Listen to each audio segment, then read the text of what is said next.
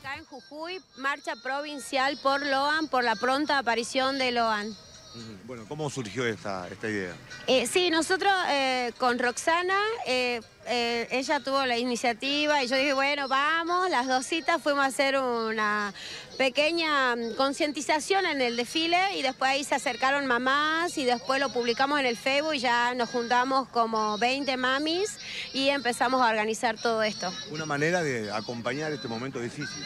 Este momento tan difícil y sabemos que hay intento de rapto acá en Jujuy y bueno, no queremos que lo que pasó en Corrientes suceda acá en Jujuy. Mm. Eh, pedimos más seguridad, eh, un policía en cada escuela, una casilla de policía ahí en la terminal vieja donde sabemos que estamos al lado de la frontera, Bolivia está ahí a un paso.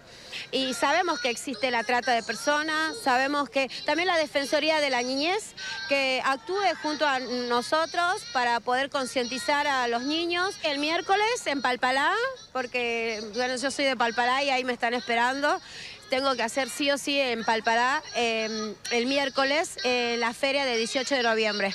Y después ya veremos eh, qué sucede con este tema y sí, vamos a tener que seguir haciendo marcha.